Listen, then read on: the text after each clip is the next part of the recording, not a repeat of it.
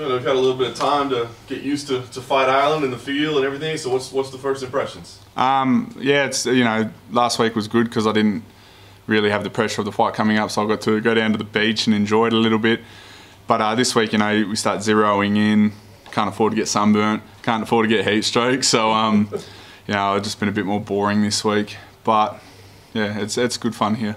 Your last fight obviously was kind of before all this kind of madness uh, occurred. So this is your first like fight kind one, of in this environment, right? So um, what's what's the feel? I mean, how much has it impacted you, uh, your preparation on a daily basis?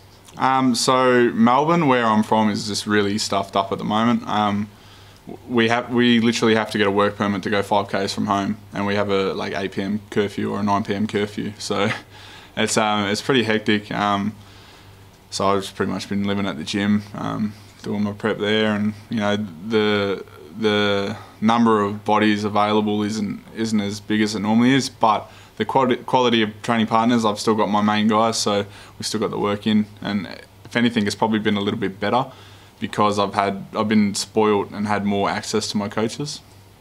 I was going to ask, yeah, does this feel kind of like? I, mean, I guess it's not probably ideal for your life, but as far as like kind of like the old school training environment, like Yeah, that's what I, gym, that's what I do. Well, I do that anyway. Like, so yeah, I, I, I stay at the gym on my camps, so it doesn't bother me too much. Um, the most annoying thing is like not being able to go out for a coffee after with the training partners or with my mates or anything. Like we just you got to train, sleep, train, sleep, eat. Like yeah, you can't really do much else apart from that. Nice, and then you get here and you're stuck in a bubble anyway. Yeah, pretty much.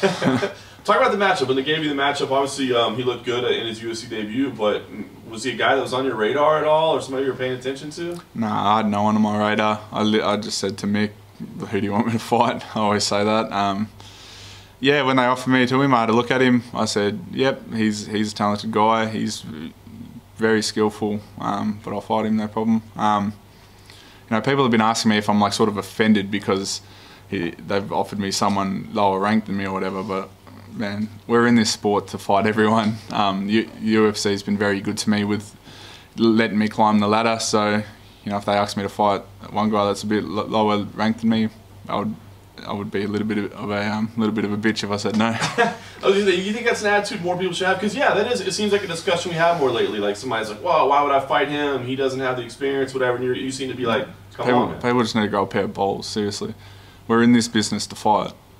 Like, I get paid to go to go do what I love. Um, you know, as you climb the rankings, you probably have to do make smarter decisions. But like at the same time, I'm a fighter, and I, like if they they told me, oh, you change of opponent, you need to fight fucking some heavyweight tomorrow, I'd be like, yeah, no worries, let's let's do it. That's awesome. Last thing for me, Amanda, like you said, you're still kind of making your way up the ranks. But does the division feel fresh now with all the change that's happened at the top? Does it feel like it's more wide open than it has been in a long time? Yeah, it's pretty exciting. Um, you know, not only not only new champions, not only new contenders, but new prospects. Um, yeah, I'll try not to look too far ahead with everything like that's going on at the top of the division. I'm just focused on one fight at a time. But you know, um, yeah, that was that was that was an awesome performance by Jan Blachowicz the other day. Um, and one day I will share the cage with him.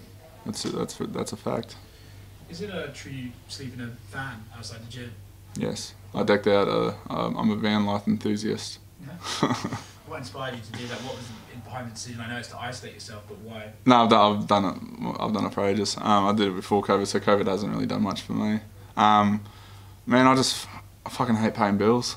I hate um, I hate paying rent. I hate like it's something I want to do when I was even before I got signed or anything. I just like like the idea of van life and whatever.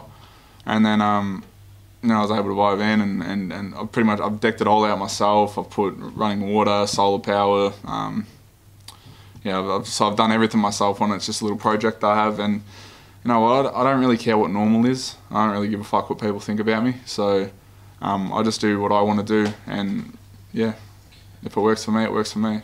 What's one thing about van life that people don't appreciate until they do it? What, what's the tip to make us all get involved? Um, I don't know. I don't know. There's um, there's lots of things that you don't expect.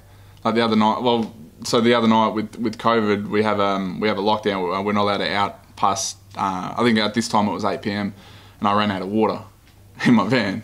So I was just like stuck till the next day. I was like thirsty as fuck, and I couldn't I couldn't drink anything. So um, yeah, like just things like that. Um, it's very convenient, but at the same time, like it is nice to have a full house to walk around uh, and stuff. But I'm in there with my dog, so there's not much room. My dog weighs more than most people. If you say about the curfew for COVID, I think we're all a bit bored of talking about COVID at this point. Now, the next question. I was going to ask what's the attitude about those sort of strict laws, like you know curfew and stuff like that. Mate, oh, don't get me started. I'll say some, I'll say some stuff that I don't, I'm not qualified to say. Is there a specific process of quarantine going back? 14 days in a hotel. You have to pay for that yourself. Oh yeah, yeah, but um, I think we're getting it looked after by, I don't know who yet by, but we're getting it looked after because I'm fucking paying it. Somebody better be looking at it. Yeah. You think Jan holds the belt for a long time now that he's champion? No. Nah.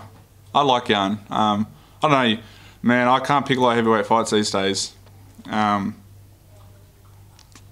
especially like I had I had Reyes to, to smash him, and then um, but then like you look closer, and and then literally the night I had big I had a big bet on on Reyes, and then I, I watched watched some fights the night before, and I went, ooh, actually I'm gonna I'm gonna start, stick a little bit on on Jan by knockout, but um man, you can't you can't pick these light heavyweight fights at the moment because you know we're we're fast and we're powerful, and anything can happen.